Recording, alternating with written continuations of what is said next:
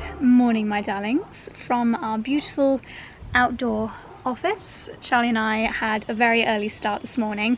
We were up before sunrise and I think I filmed a couple of clips you might have just seen as we were driving to the farmhouse for our gym session. It was so beautiful seeing the sun coming up over the fields and where the ground and the air temperature was so different. There was kind of like a mist over the fields and it just got me so excited for autumn. But having said that, today is another mini heat wave, another warm, very end of summer day. So we are making the most of it, sat out in the garden. Dexter is in full on sunbathing mode such a funny boy. Weather forecast says it's going to get cloudy later on. I'm hoping it doesn't, but if it does, I have plenty more wardrobe clearing out that I need to do today. And then hopefully this morning I will get a little bit more gardening done, but I have got quite a lot of editing to catch up on. So I'm just going to enjoy working out in the sunshine until my laptop overheats.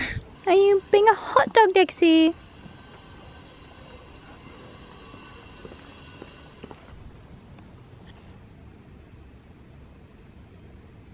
Okay, little Dicky. Tick, tick, tick, tick, tick. You're lovely. You are so lovely. I just suddenly started to feel a little bit headachy, so I'm gonna have a little break from some screen time and do my flower arranging. I haven't arranged these yet, I just popped them in water. Um, they are from our Freddie's Flowers delivery and I just think they are always the most beautiful blooms and quite unusual. Don't actually know what that is, let's have a look. I have a really bad feeling that I have just thrown away in the recycling the instruction book which tells you how to actually display the flowers which is very annoying but I will try and guess how to do it. While we were away last week Lila was obviously house sitting and she received my weekly Freddie's Flowers delivery last week and she is so funny she actually sent us a vlog clip of her arranging the flowers so I'll check if she minds um, but it's so funny I'm gonna insert it here for your viewing pleasure. Good morning my darlings and welcome to another day in the lovely Cotswolds where I'd like to invite you to join me in arranging some of Freddie's flowers that have just arrived. They come beautifully packaged and also with instructions as to how to create the perfect floral arrangement. So let's see what happens. Louis is in his buggy watching and keeping, uh, keeping an eye open for any um, visitors that might be coming this morning.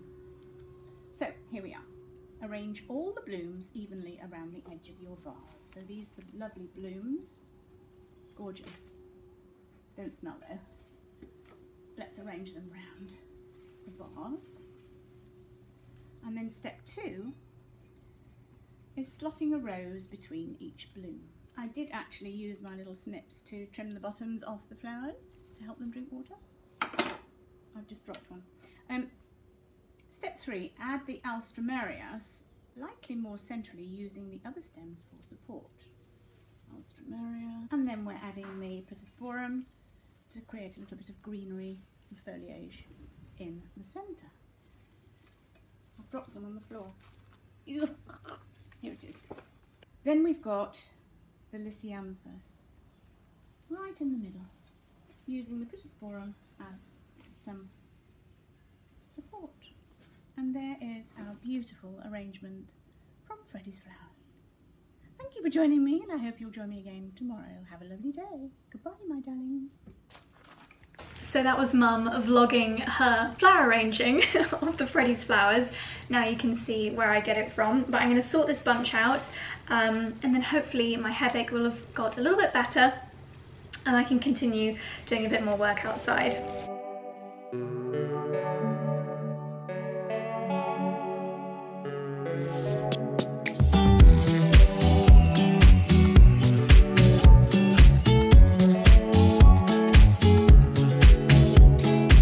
I'm ever not feeling 100%, the lunch that I make myself is pasta with just a tiny bit of butter on there. So I'm gonna enjoy this outside. The headache is going now, thankfully. I have popped a hat on. I always remember to wear a hat when I'm abroad, but need to get better into the habit of wearing it when I'm at home. On hot days like this, I'm gonna have a lot of help with my lunch today. These boys love plain pasta, but they are not allowed because they're not eating their food at the moment, so you're not having any of mummy's. So I'm gonna enjoy my pasta in the sun and then back to work. Okay, darlings, I am back inside now and that is the church bells going off for 5 p.m. I have a makeup masterclass to join now um, which is why I've not put makeup on today. I've been really excited for this masterclass. It's with Laura Mercier and Nikki Makeup so I'm completely barefaced. I better make this quick and log on. Um, so I thought I'd show you a little bit of a behind the scenes as to what blogger events alike during lockdown. Brands are doing so many launches now. I think a lot of launches were paused during the beginning of lockdown um, and the pandemic, but now products are starting to be released again. So there's lots of really fun online events. So this is gonna be a follow along tutorial. I'll show you a little bit of, yeah, what's going on. And then I have a lovely big Topshop delivery to share with you and loads more organizing to do up here now that it's a little bit cooler. I've got lots of dresses, lots of dresses up on here which I need to sort through um, and just more suitcases and some more shoes but first it's time to pop some makeup on.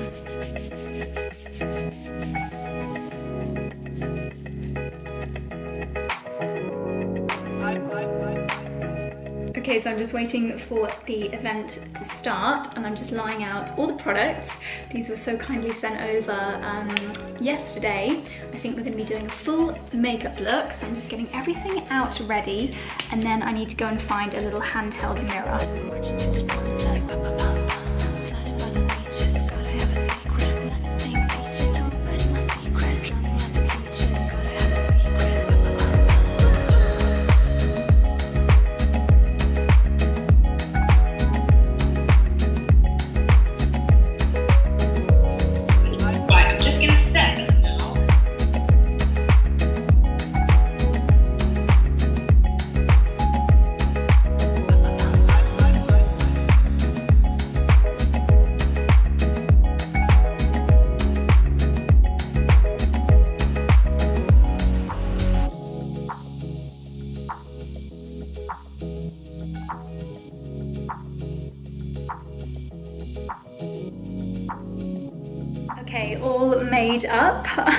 The Laura Mercier masterclass.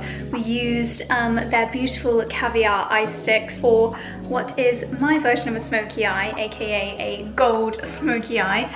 Um, we only did the base really, really quickly, so it's not 100% perfect. And then finished with their new honey translucent powder, which is really, really lovely. And then as you saw, I just had another quick little dash around, putting away some of the clothes. I have now officially run out of hangers. I thought I would have more than enough, um, but now that everything is on matching hangers, I have completely run out and I've got some clothes that are hangerless, so I'm gonna have to go and make an order um, they're just from Amazon, not very expensive. I will leave them linked down below because when I posted an Instagram story with them on, I had a lot of questions. But to add even more clothing to the wardrobe, I have got a big Topshop order that I'm going to go through with you now with some gorgeous basics and different bits and bobs and lovely affordable pieces for autumn. Okay, the first two things that I've picked up are these two coats, lovely neutral colours, which I just find super, super versatile for autumn winter. I showed you my Reiss Lawson coats a couple of videos ago, and I have been on the lookout for a more, more affordable alternative to show you guys, and I feel like this I mean, it looks almost identical, but let's see, a fraction of the price. Oh, Ah, there we go, 69.99. I think the Reiss one was over 200 pounds. And then this is, I think they called it a jacket, is that a thing, a shirt jacket? In this lovely oat color. It actually looked a little bit more pink on the website, but I can imagine this being really good for these early autumn days. And then over here, the other bits and bobs. Can't resist a jumper dress. When I see a jumper dress um, in a neutral color, I always am so tempted. They are perfect for wearing around the house and, well, everywhere. What's this? Considered. Considered product created with respect for the people around us and the planet we live on. Hmm, interesting.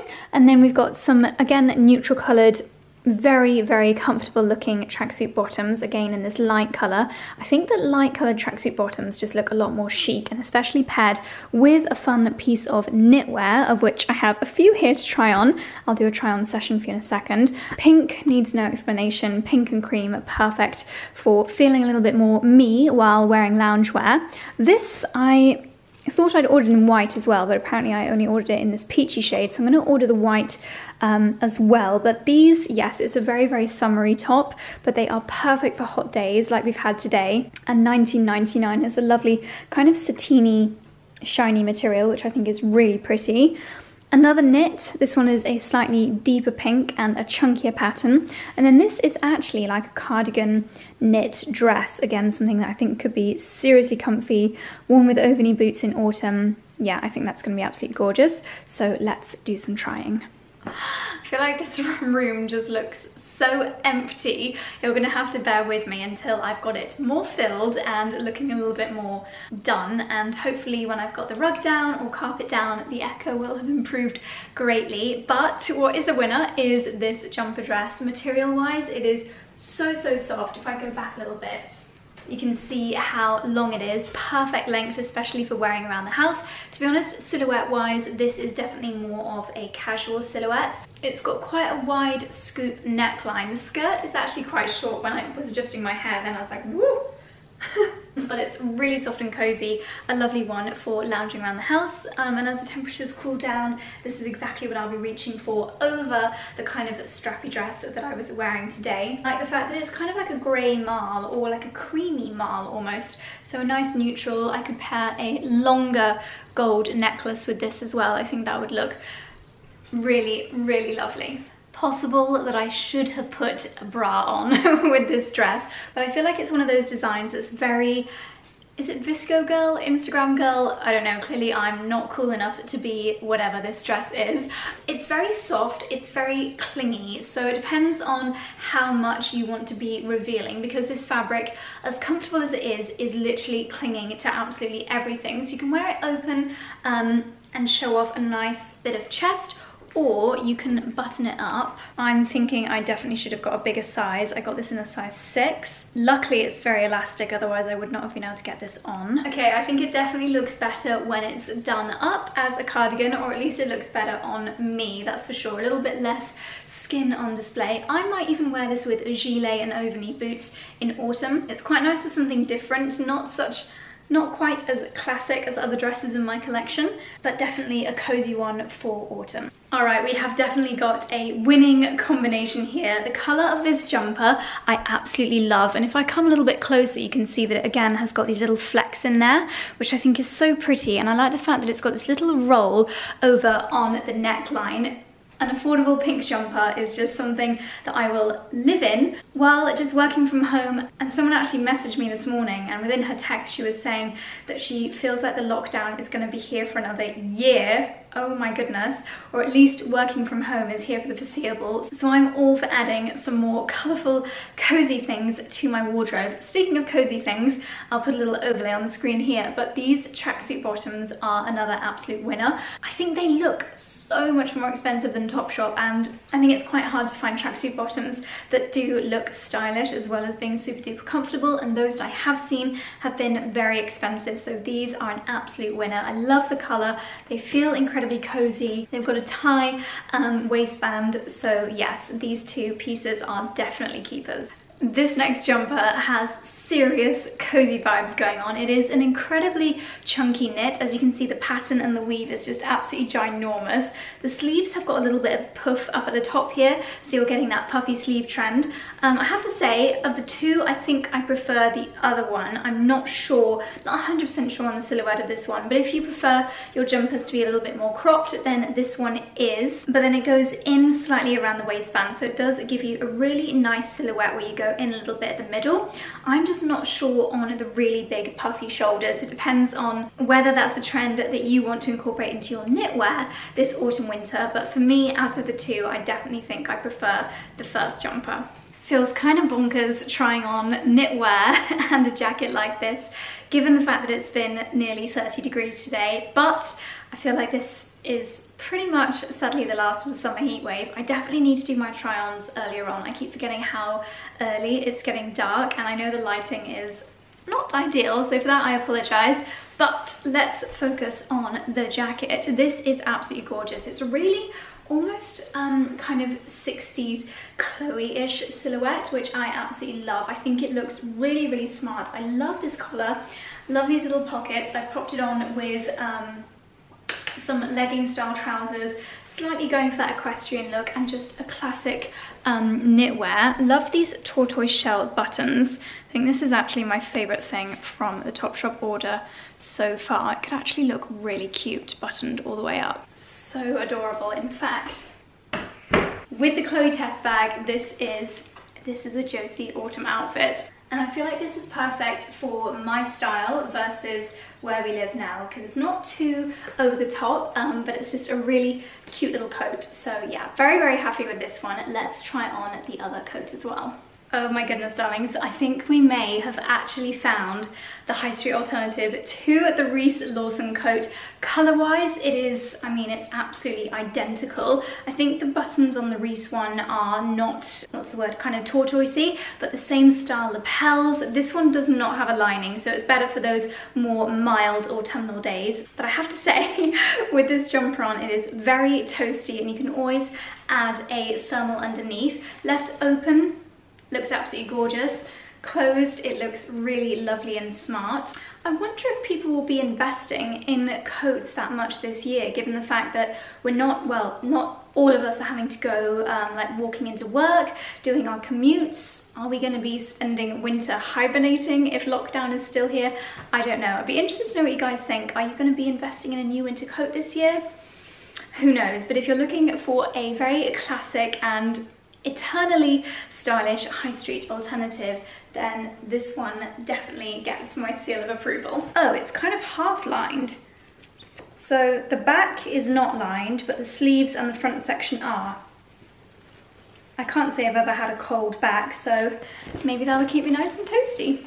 Okay darlings, that is my unboxing done. I have, as you can see, popped on the dress that I was wearing earlier today, popped my hair back in a ponytail so that we can be productive in the wardrobe. But I realised this is also from Topshop, so I thought I would throw it on at the end of the haul. This has become something that I am wearing so much in the evenings. I like to wear things that are obviously nice and breathable, not necessarily breathable, but nice and, you know, keeping you cool, temperature regulated during the day. But then when the temperatures drop in the evening, and this is a cool house, I'm always so tempted to go and put my dressing gown on. This is basically the socially acceptable dressing gown because it's essentially a cardigan, um, but it's so long, it feels like a robe. So I absolutely love it. It's this kind of grey brown colour, which I'm not gonna be honest, it's quite a boring colour, but it literally goes with everything and I actually think it looks pretty chic. So it's very long, it kind of acts like a blanket. If you're really cold, you could totally snuggle up in it. So when I go around the garden with the dogs in the evening, I just, you know, bunch myself up. So now, while I've got the windows open, in fact, it is actually a little bit too warm for it now. Look how cute that looks. I absolutely love it. So hopefully this is still in stock because I only ordered this um, a couple of weeks ago. But yes, I thought I would throw that in as it is another Topshop piece. But what I'm going to do now is bring the two boxes that have not been touched since we moved house filled with shoes um, and do another little bit of shoe organizing.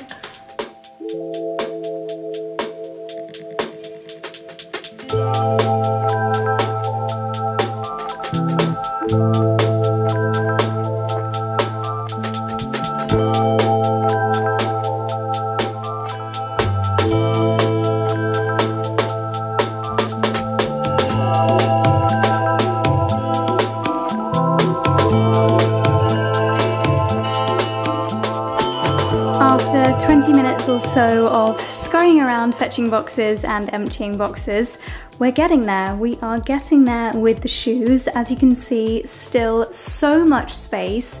These shoe drawers, I, do you know what? It was, it was pretty expensive, not gonna lie, to um, get the cupboards built back into the wall, but oh my goodness, already I am just so glad that I chose to do that. I think that in a couple of years time, I would have really regret not making that additional investment if I hadn't done that because yeah, this storage is incredible. I'm under no illusion that this is my full shoe collection. I'm sure as I undo more suitcases in the loft, um, or the room that we're calling the loft is actually technically lower down than this room, um, I'm sure I'll find more, especially boots. I'm pretty sure I have many more boots to come, but as you can see, still so much room to play with, um, but let me explain my method. So starting here, as I showed you, I think yesterday, my smarter shoes, they feel quite sad in this corner, um, but who knows when I'll be wearing them, and I definitely think I have some more shoes to go in that section. At the top here, trainers and my, my Ugg boots. I'm not one of these people that turns my nose up at Ugg boots because they are so comfortable and I will probably wear those to go to the gym or if I find a nice Pilates class nearby, I will wear those in the winter boots on this level down here. So like I've done in um, these sections, I've got more of a winter section or autumn winter section and um, spring summer section. Hopefully that'll just help me when it comes to choosing my footwear. So this shelf, the top shelf is boots. I think that this will probably be full when um, I've finished doing all the unpacking soft clothes, very satisfying. And then this is looking really good. Here we've got, um, well, technically my Valentinos are more spring summer, but for some reason they're here, so maybe they need to go in that drawer, but we will see. So we've got, as you can see, pretty much a whole drawer dedicated to mules. Can you tell I love a good mule? I find them so versatile. If I need to get rid of some shoes, then I am spoiled for choice when it comes to these more square-toed open toe mules. I've got three pairs here, two from & Other Stories, one from Topshop. So yeah, I probably should get rid of a pair of those. And then I've got my pointed toe closed toe mules, which I find just go with everything. My lovely Chloe sandals. Um, I don't know where the pink ones are, so yeah, they definitely need to go in there. What's that? Looks like, oh, I think that's an electricity point. Interesting. Um, but yeah, that is that section for now. Can't wait to get the knobs on these doors so I can get rid of these little blue tabs. Uh, then the spring summer collection, we have got my fabulous Gucci mules, my Nicholas Kirkwoods, who or which I absolutely adore. You may have seen I grabbed these ridiculous Simone Rocha slides while I was unpacking. Um, and by the way, if that hyperlapse wasn't a good enough view of my shoes, I did do an entire shoe collection video just before moving. So I'll leave that linked on the screen. That's pretty much all of these shoes, me going through them. So if I pop that one back inside, then you can see pretty much another drawer of mules, Gucci, Tod's, Tod's, Prada, Jimmy Choo. I'm not gonna lie, I have put my fanciest ones at the front because then I can enjoy them, looking at them every time I open the drawer and that's half the fun. And then I think I showed you the rest of these sandals. Ooh gosh, I need to be careful. Um, yesterday, don't worry, I'm not gonna get in the habit of shutting these drawers with my feet. And then here we have got, I've pushed my travel bags to the back. I will still be able to access them. Um, in fact, maybe I should just put the travel bags up a level. But then I've got my over-knee boots. This was the area that we actually measured according to my tallest over-knee boots, which is this pair here. So with the right holders in them, they will stand up perfectly in here. And at least now I can see them all in Clapham. I had to reach around the back of a really awkward wardrobe space to be able to find my over-knee boots. And I do live in them when it comes to autumn winter. So yes, it's great. They are now all visible. I have a few more bits and bobs from the snug room that I've brought in here to sort out. I think this bag is filled with gym gear. Probably need to have a gym gear sort out. Yeah, let's let's have a little rummage through this. Um, I thought I would keep this little marble coaster on here to pop my coffee and then we've got a couple of hats to put away as well.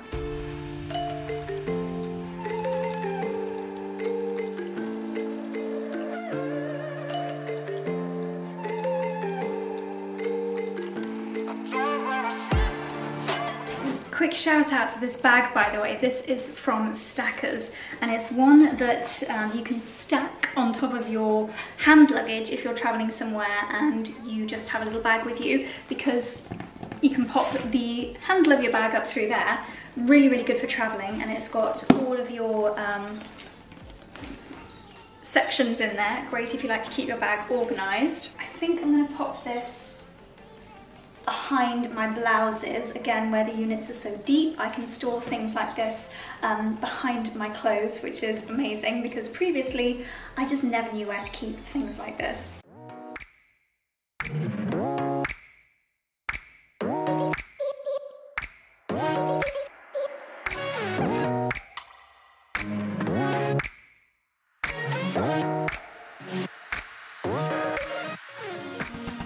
So I've actually decided that I'm only going to be keeping one set of leggings from this pile of fitness clothing.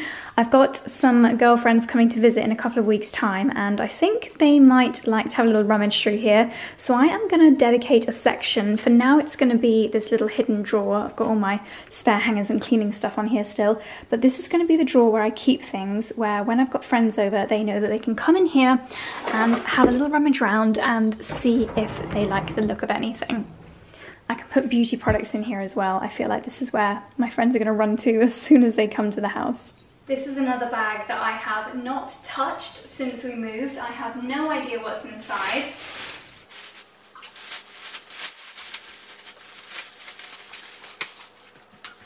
So we have got a mixture of loungewear, thermals, my green Reiss time trousers, um, some underwear. Oh my gosh.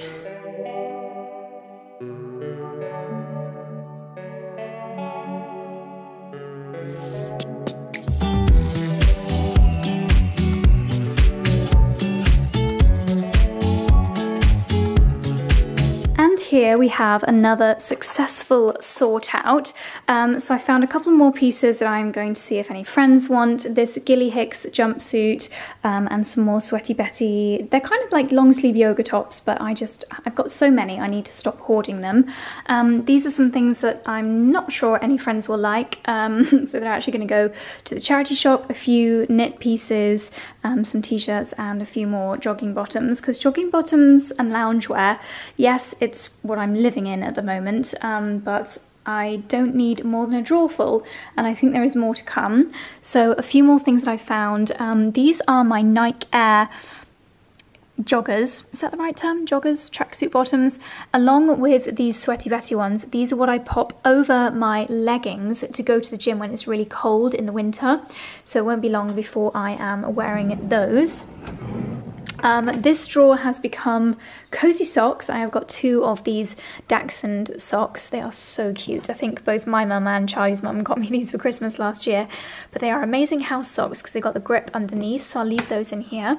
Um, and then these are kind of underwear solutions. So t-shirt bras, tights and what do you call them, kind of like Spanx, but they are from Heist.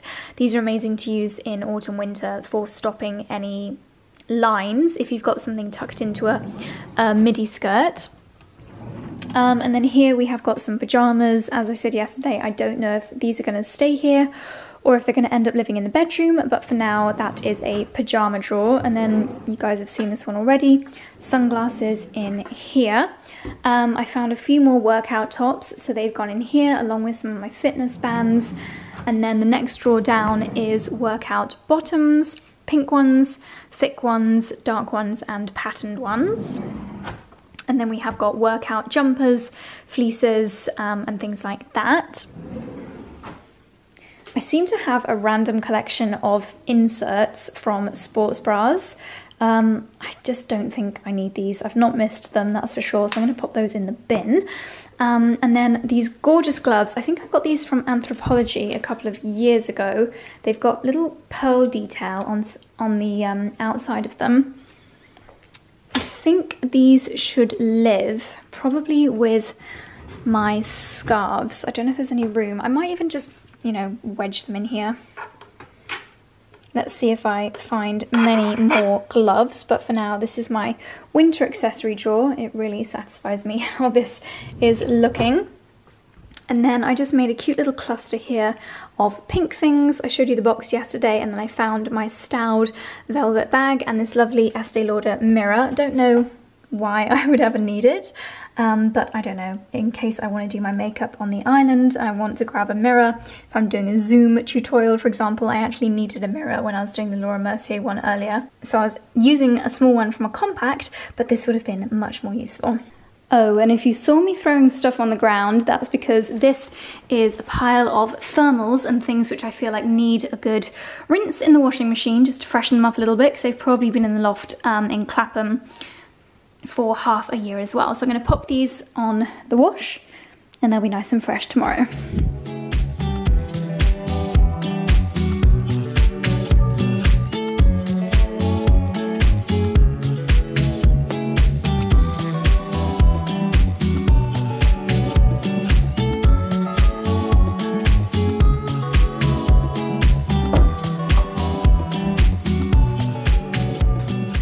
Darlings, it's an hour or so later. I've just been for my dinner, which was prepared by Charlie, which was great because I had no energy to cook tonight.